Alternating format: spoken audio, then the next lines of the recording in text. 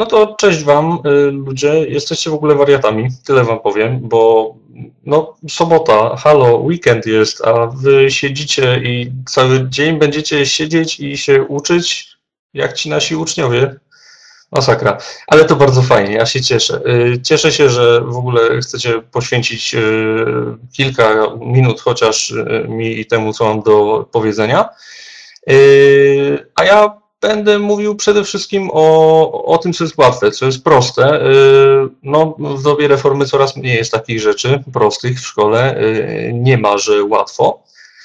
Y, no, ale myślę, że jakoś damy radę. Trzeba sobie ułatwiać życie, a nie, a nie utrudniać. Także mm, ja jestem super belfrem i oprócz tego mam swój blog w wolnej chwili, czasami tam coś piszę. Yy, tak, ja to pan informatyk, tak, jeżeli ktoś tam widzę na czacie załapał, super. Yy, I, no i generalnie wiecie, oprócz tego jestem nauczycielem, trochę siedzę jedną nogą w IT takim firmowym, także jestem mocno zafiksowany na punkcie komputerów yy, i edukacyjnie, i nieedukacyjnie. Natomiast ja w pewnym momencie doszedłem do, yy, tak, miałem wczoraj urodziny, taka panaski. Yy, w pewnym momencie do, doszedłem do takiego momentu, że no miałem przesyt, za dużo komputerów, za dużo programów, za dużo aplikacji, za dużo narzędzi i w każdym z tych narzędzi yy, trzeba się y, logować, rejestrować, Y, adaptować do jakiegoś nowego, zorganizowanego rozwiązania, które okazuje się, że po miesiącu ginie, bo, no bo było darmowe, nie zarobili jakby producenci na tym i zwinęli interes, a my cóż z tego, że zaraziliśmy jakąś pasją uczniów, jak za miesiąc oni wchodzą i mówią, no sorry, ale tego już nie ma. Także y, takie życie, y, natomiast staram się minimalizować te, te problemy i, i o tym będzie. No, y, problem jest taki też, że y, nasza lekcja trwa całe 45 minut. I to trochę mało. Znaczy, dla ucznia to jest dużo, dla nas to jest mało, czasami na tyle mało, że nie jesteśmy w stanie y, no, przerobić tego, co byśmy chcieli przerobić, a jeszcze, żeby to było w atrakcyjnej formie, zainteresować, a jeszcze przemycić może jakieś narzędzia tikowe. No, robi się z tego lekki problem. Mm, dlatego trzeba sobie ten czas organizować mądrze, organizować sprytnie. Y, no i właśnie lekcja okazuje się, że w ogóle nie trwa te 45 minut, bo jakbyśmy się tak bardzo y, intensywnie przyjrzeli, to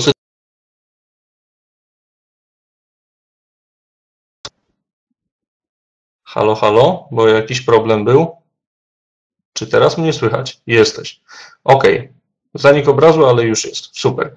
E, cisza zapadła, ale już, już zerwało jestem. Ok, no mówiłem o tym, że y, lekcja y, nie trwa 45 minut, bo to jest taka, wiecie, ściema, dlatego że realnie rzecz biorąc, jak sobie spojrzymy na to dokładniej, odejmiemy od tego czas poświęcony na sprawdzanie obecności, sprawy bieżące, różne, jeszcze wejdzie nam ktoś, e, bo ma ważne ogłoszenie o samorządzie uczniowskim, że jest dyskoteka, zebranie, Bóg wie co jeszcze. My chcielibyśmy jeszcze przynajmniej jedną osobę odpytać, może sprawdzić zadanie domowe, jeżeli na przykład zadaliśmy jakieś niekoniecznie wiecie takie łopatologiczne, ale no, czasami dobrze jest to zrobić. Po drodze się nam jeszcze czterech ziutków i Kaziów spóźni, bo przecież oni zawsze się spóźniają. E, chcemy zrobić aktywną lekcję, czyli dzielimy ich jakoś tam na grupy no to już tam robi się z tego no tak 30 minut albo i nawet mniej. Yy, dochodzą do tego, ciągle mnie nie. Dobra, to ja staram się zrobić. Powiedzcie mi, czy teraz jest trochę lepiej. Halo? OK. Jest dobrze. Dobra, spoko. No to jeżeli u jakiejś pojedynczej osoby tnie, to być może był to problem yy, po waszej stronie z internetem. Yy, ja chciałbym jeszcze zwrócić uwagę na to, że yy, część problemów jest od nas zależna, część nie. Yy, mamy na przykład awarię sprzętu, mamy problem tych, tej rejestracji w nowych, w nowych narzędziach. No i mm, nie wiem, dla mnie jako dla informatyka również, a potrafię sobie tylko wyobrazić, jak mocno frustrujące może być dla osoby, która jest tak średnio związana z IT. No jest entuzjastą, ale niekoniecznie bardzo techniczną osobą. Jak frustrujące musi być yy, to, że chcemy zrobić jakąś fantastyczną lekcję, mamy wymyślone narzędzie i nagle sprzęt siada. Yy, no to jest mocno irytujące i no właśnie, zawsze mam plan B. Tak, to jest to. Yy, trzeba, trzeba mieć plan B, no ale wiecie, to nie o to chodzi, żeby zawsze dwu albo trzy jakby torowo mieć lekcję przygotowaną, bo może, nie wiem, nie będzie komputerów, internetu, prądu i tak dalej. No to jest takie trochę słabe. Myślę, w XXI wieku nie powinno tak być. I ja chcę Wam najpierw zdradzić, przemycić taką tajemnicę, co zrobić, żeby, y, no żeby te dwa problemy trochę zminimalizować. No bo te 30 minut to powoduje w nas takie, takie what? 30 minut, trochę mało, no, no nie zdążę i w ogóle tragedia. Jeśli chodzi o awarię, czyli o pierwszy problem z tych dwóch ostatnich, które zaznaczyłem, y, no z awarią jest taki myk, że wystarczy, jeżeli coś się zepsuje, po prostu zacytować te dwa paragrafy z karty nauczyciela, e, które mówią o obowiązkach nauczyciela. Ja Wam gwarantuję, że tam nie ma ani słowa o tym, że nauczyciel może być albo jest serwisantem. E, tam jest o tym, że masz wykonywać obowiązki statutowe szkoły, tam jest o tym, że masz wykonywać polecenia dyrekcji w ramach swojego zakresu zatrudnienia. Tak długo, jak długo nie jesteś zatrudniony na stanowisku serwisanta, tak długo, realnie rzecz biorąc, nie powinieneś nawet tykać kabelków, bo nie masz uprawnień, nie jesteś elektryk, możesz coś zepsuć i poknocić. A jeżeli jednak y, macie kadrę, która będzie naciskała i nalegała na to, że no weź jednak napraw, bo przecież ty chyba umisz, się okazuje, że nie umi, Y, dlatego że raz czy drugi pokażecie, że umiecie, no i się okazuje, że będziecie gotowo robić, y, robić wszystko. Y, wystarczy przypomnieć, że nauczyciel matematyki nie jest w szkole księgowym. No niestety, ale nie. Nauczyciel biologii podobnie nie układa diety, nie pracuje jako intendentka czy jako jakiś dietetyk szkolny. No i podobnie nauczyciel informatyki nie może być serwisem IT, dlatego że to wszystko będzie się odbijało na jakości kształcenia, na jakości nauczania. No niestety, siłą rzeczy możemy albo pracować jako serwis, albo pracować jako nauczyciel, czyli albo mam czas na to, żeby przekazywać dzieciakom wiedzę, albo żeby naprawiać komputery. Dwóch rzeczy na raz to się nie da. Yy, taki pierwszy problem z tą awarią yy, i protip od pana informatyka, jak, yy, jak to rozwiązać. Rzeczywiście nie namawiam do jakiegoś masowego teraz buntu, żebyście, wiecie, jakby no, obrazili się na cały świat i powiedzieli, nie, nie wiem, jak cię wylogować z tego narzędzia albo tego typu rzeczy. Jeżeli mamy trywialne problemy, komuś kabelek się wytknął z gniazda, najbardziej prozaiczne sytuacje, Owszem, pomagać jest coś takiego jak pomoc koleżeńska, no ale żeby nie brnąć w to za daleko. Y, bo od tego jest outsourcing IT, czyli tak naprawdę zewnętrzna firma, na którą y, szkoły powinno y, być stać. Jeżeli nie stać, no to należy szkołom pokazać, że bez tego się nie da. No bo przecież w szkole jest woźny, prawda? W szkole jest sprzątaczka, nauczyciel nie sprząta za sobą w sensie podłogi, klasy, nie myje. Ok. I teraz drugi problem. Y, proces rejestracji. Jeżeli się rejestrujemy y, w jakimś narzędziu, y, my to jeszcze biedy. Uczniowie. Jeżeli uczniowie rejestrują się w jakimś narzędziu, to zazwyczaj pojawiają się takie trzy problemy, które są najczęstsze. Tak pokazuje statystyka i u mnie na zajęciach, i u moich znajomych, kolegów, koleżanek również. Y, albo uczeń zapomni hasła do swojego nowego narzędzia, ewentualnie zapomni hasła do swojego e-maila lub samego e-maila. Zaraz powiem, czego to jest pokłosie. Albo kolejny problem y, jest y, interfejs po angielsku, czyli po prostu to nowe narzędzie, które chcemy wdrożyć jest po angielsku i musimy spędzić niewspółmiernie dużo czasu na to, żeby pokazać i przypomnieć uczniom, gdzie, jakie y, elementy należy nacisnąć, żeby osiągnąć konkretny cel. Jeśli, jeśli chodzi o e-maile, problem jest jeden. Uczniowie w 90% z e-maili w dzisiejszych czasach nie korzystają lub korzystają bardzo transparentnie i lakonicznie, to znaczy nieświadomie. Mają te skrzynki, wiedzą, że tam trzeba kliknąć, jeżeli się gdzieś indziej rejestrują i coś potwierdzić. Natomiast yy, mogę prosić o screena, że nauczyciel nie jest. Aha, tak, dobrze, już, proszę. Bo widzę tutaj kilka osób. Tak, zrobiony screen? Beata? No chyba zrobiony. Yy, dobrze, wracamy do naszego slajdu z e-mailem. Uczniowie mają ten problem, że yy, nie korzystają z maili w taki sposób, w jaki my korzystamy. Czyli yy, to nie jest tak, że oni zakładają sobie skrzynkę, codziennie pociesznie zaglądają do folderu spam, bo być może coś tam ważnego trafiło. Co dwa dni czyszczą z reklam zaglądają, czy jakieś nowe wiadomości się pojawiły. Nie, oni mają tego maila, ale generalnie tylko po to, bo jakieś narzędzia potrzebowały tego, żebyśmy, yy, żebyśmy mieli tego, tego e-maila. No i w związku z tym oni nie wiedzą, jaki mają login, oni nie wiedzą, jakie mają hasło.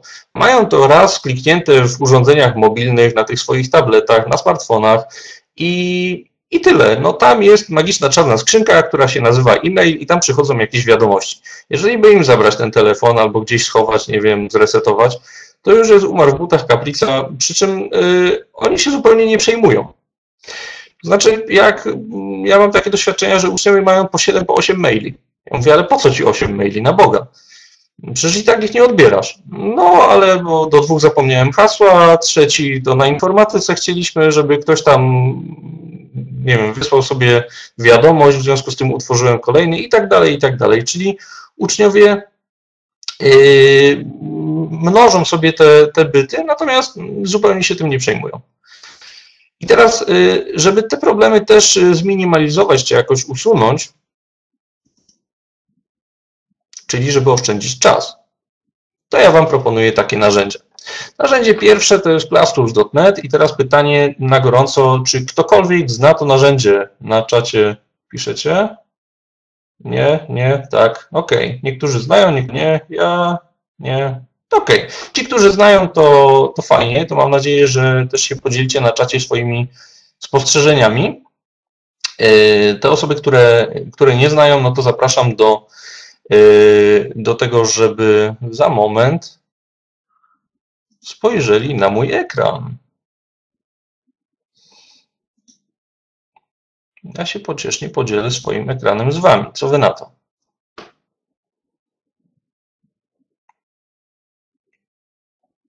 Tak. Halo, halo, czy cokolwiek widać jeszcze?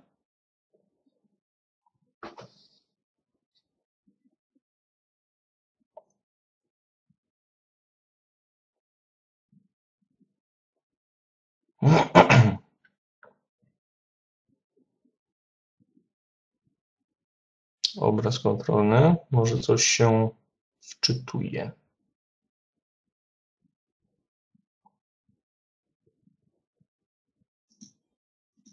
Spróbuj Tomasz jeszcze raz zamknąć dzielenie i jeszcze raz uruchomić dzielenie ekranu. Moment. O, teraz będzie. Albo nie. Wiesz co, to może wideo po prostu w... ubiję na chwilę, co? Bo być może transfer jest na tyle ograniczony, że zostanę na chwilę na samym audio i zobaczymy, czy zadziała.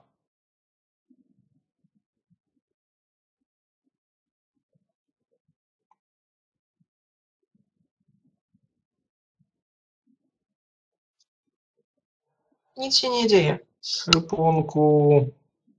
Musisz jeszcze raz zamknąć i uruchomić od początku.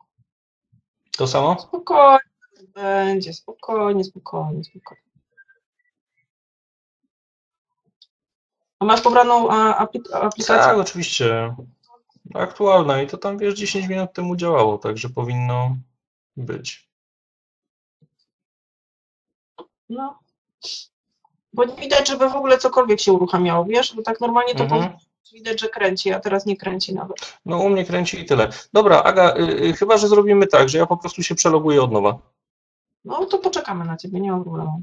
Dobrze, to ja ten za moment wracam i zobaczymy, czy się uda.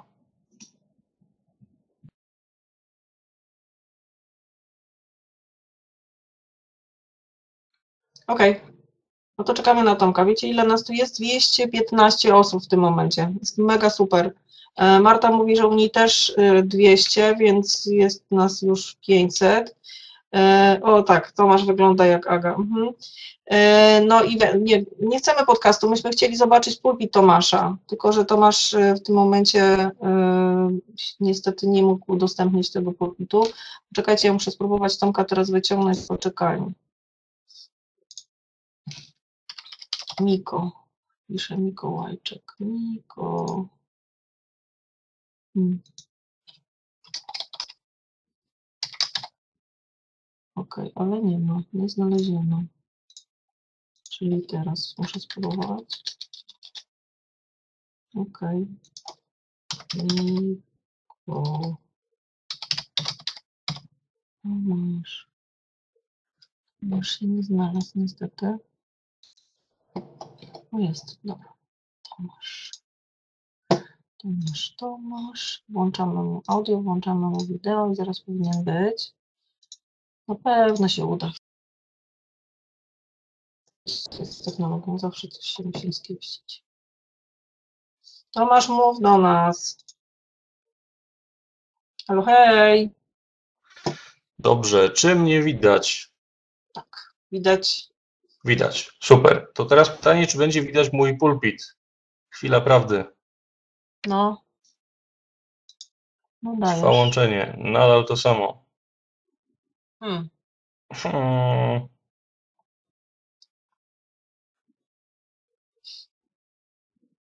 No nie. Mnie nawet nie kręci, Tomek. No nie widać. Hmm. To, to zrobimy Dzięki tak. Asia, że mi powiedziałaś. Już dodaję czat z powrotem. Aha, nie ma czatu? Czemu usunęłaś czat? No nie, no bez jaj. Słuchajcie, ja mam dla was takie fajne rzeczy. Chcę się podzielić pulpitem, a tu co? Print, no właśnie, zrób print screena, jeśli możesz, to masz. A czy teraz coś jest? Jest, jest, jest, jest, jest. Jej, fantastycznie. No mówię, nie, nie ma takiej opcji, żeby coś nie działało. Ale pokaż się U mnie musi działać. ludzie, żeby cię... Aha, już też się pomyliłem teorię, że po prostu transferu jest jakby za mało. Yy, no ale nic. Widać? Widać. Super. To teraz wracamy do mojej magicznej prezentacji i yy, ja mówiłem o Toolsach, czyli o narzędziu, które niektórzy znają, niektórzy nie znają. Yy, a ja je Wam pokażę. I teraz y, Class to jest, y, to jest takie narzędzie, które wyglądem swoim przypomina mocno strony z lat 90. Ono jest dosyć toporne, ma 10-20 kolorów użytych i tak dalej. Natomiast ja bym prosił o jedną rzecz, żeby Was to nie zwiodło. To, y, to, że to narzędzie wygląda jak wygląda, to jest jedna rzecz, ale ono ma milion świetnych zastosowań do szkoły. Mm, No ma oczywiście jedną przerywa, no to ja jednak wideo schowam. Pytanie, czy teraz jest ok. Halo? Jestem? No jestem, ok, ok, jest ok, jest ok, super. Y, To narzędzie jest brzydkie, ale to narzędzie ma idealne zastosowanie do szkoły. Znaczy, y, można wykorzystać je chociażby jako elementy przyporządkowania. To się świetnie sprawdza na przykład w klasach 1-3, y, gdzie musimy, no nie wiem, o segregacji śmieci przeprowadzić zajęcia albo o zdrowym i niezdrowym żywieniu. I ja Wam pokażę w pół minuty, jak zrobić coś takiego. Na przykład odpalamy zdrowe i niezdrowe. No i zdrowe mamy co? Sałata, pomidor i pewnie tofu będzie zdrowe, nie? Niedobre, ale zdrowe.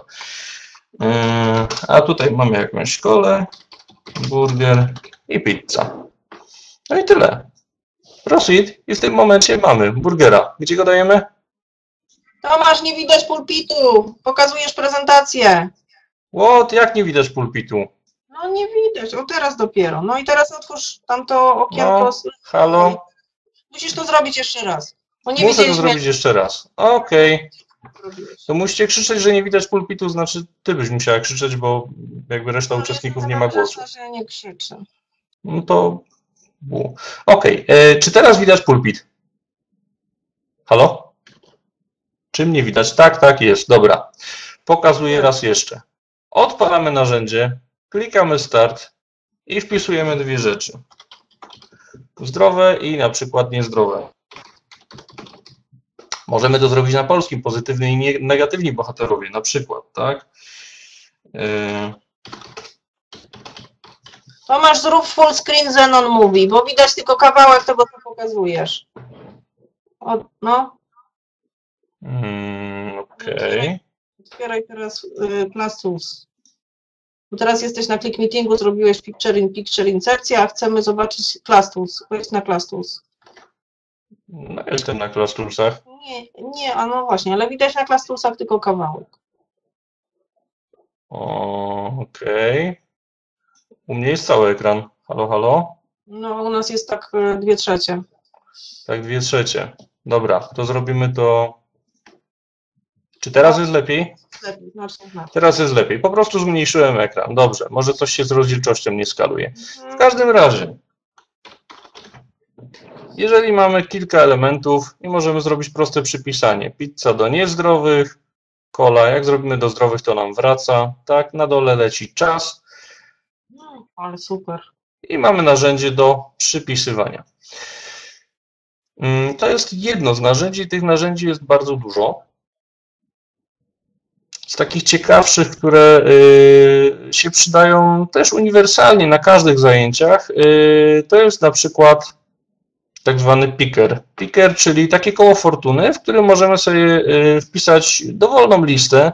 Czy to będzie lista uczniów, jeżeli bardzo chcemy zrobić uczciwe losowanie, kto przyjdzie nam do tablicy, czy to będzie lista jakichś elementów, to już jest dowolnie. Klikamy Edit, uzupełniamy listę swoimi elementami.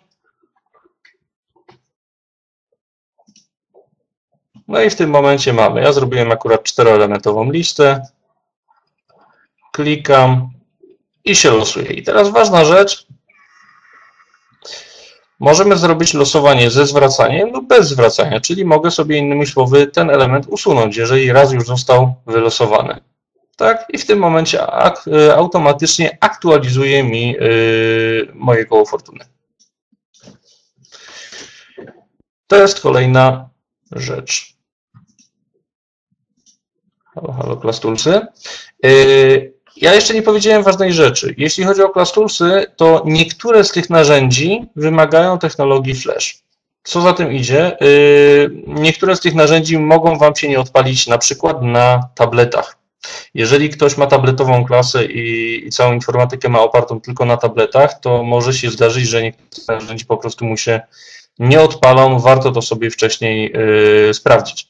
Z ciekawych narzędzi, które ja sobie bardzo też upodobałem, to jest y, no, mm, tak zwany Facebook, czyli, czyli Facebook, którego sobie możemy y, podrobić. Y, To jest generator y, całego wyglądu potencjalnego timeline'u Facebooka dla jakiejś fikcyjnej postaci. I żebyśmy nie musieli tego robić faktycznie na Facebooku, y, to możemy zrobić to w tym narzędziu. Dzięki temu sobie możemy przedrukować takie karty pracy, rozdać uczniom albo poprosić uczniów, żeby przygotowali na przykład y, jako zadanie, jak mógłby wyglądać Facebook, nie wiem, Kochanowskiego. Do kogo on mógłby pisać, y, z kim mógłby rozmawiać, z, jakim, z jaką osobą mógłby mieć jakieś relacje i tak dalej, i tak dalej. Mamy tu takie elementy jak gdzie się urodził, kto jest jego rodziną, mm, zdjęcia, przyjaciele y, i tak dalej, i tak dalej. Czyli tak naprawdę y, no jest to kalka 1 do 1 Facebooka.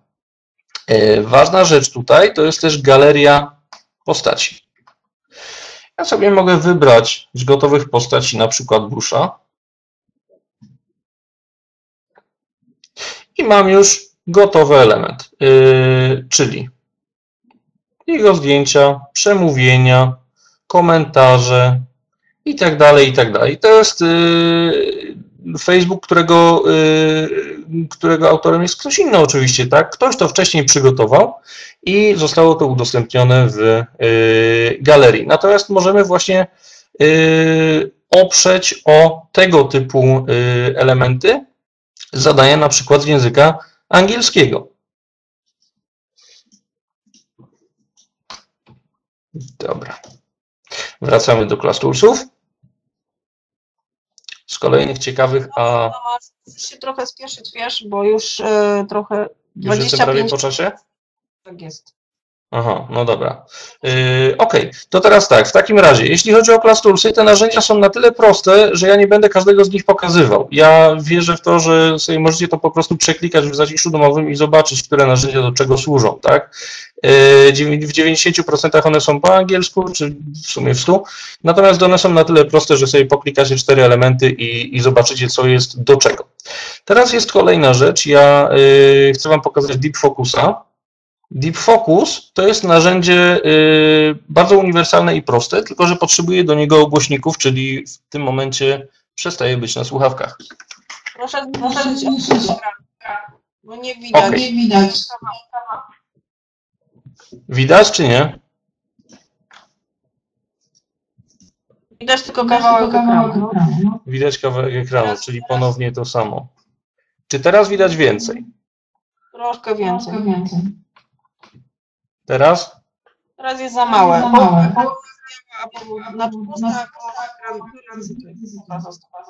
Jest w miarę ok, dobra. Deep Focus jest narzędziem, które tak naprawdę yy, służy do jednej rzeczy, do dźwięków w tle. Jest to na tyle yy, jakby narzędzie uniwersalne do wykorzystania na dowolnej lekcji, że służy tylko i wyłącznie do tego, żeby yy, w jakiś sposób yy, przełamać niezręczną ciszę. Często jest tak, że dzieciaki mają za zadanie myśleć na przykład jakiś fragment opowiadania. I niektórzy mają tak, że myśli im się łatwiej, jeżeli w tle słyszą jakieś lekkie dźwięki. Na przykład, nie wiem czy to słychać. Słychać cokolwiek? Albo burzę.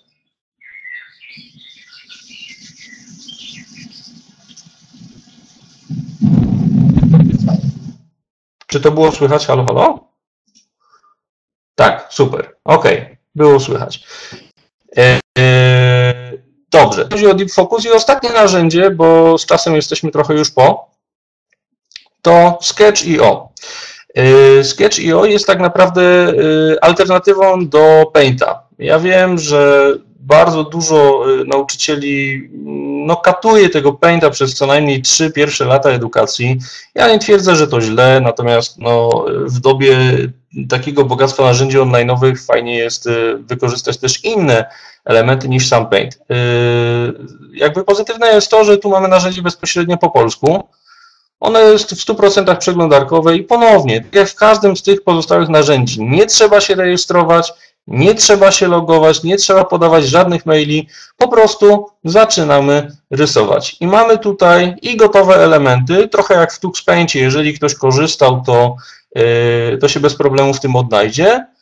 Yy, no i mamy tak samo różne rodzaje pędzli, ołówków i tak dalej, i tak dalej. Czyli możemy sobie wybrać yy, czy zadać uczniom stworzenie jakiegoś rysunku i będzie to troszkę bardziej atrakcyjne aniżeli w takim zwykłym, klasycznym pęcie. Zaletą tego jest też to, że możemy bez problemu zapisać sobie obraz do nie tylko JPEGA czy PNG, czyli do tych klasycznych, standardowych formatów y, na tapetę, ale również do wektorów, do SVG, czy nawet eksportować do PDF-a.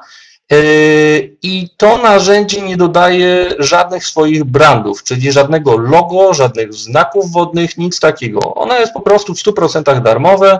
Ono żyje z tego, że gdzieś tam czasami się pojawiają yy, reklamy. No, jak w większości narzędzi yy, bezpłatnych. I tak naprawdę to jest tyle, jeśli chodzi o moje narzędzia, które miałem przygotowane dla Was dzisiaj. Ja mam nadzieję, że Mam nadzieję, że wybaczycie mi to, że y, lekkie problemy techniczne mieliśmy, ale udało mi się y, jakoś z tego wybrnąć z Waszą pomocą. Pamiętajcie tylko o jednym, y, o jednym ważnym takim, o jednej ważnej informacji, że narzędzie tak naprawdę jest tylko środkiem do osiągania celu, a nie celem samym w sobie. W związku z tym nie powinniśmy wychodzić jakby od narzędzia, tylko wychodzić od celu lekcji, a dopiero wtedy dostosować narzędzia do, do tego, co sobie założyliśmy.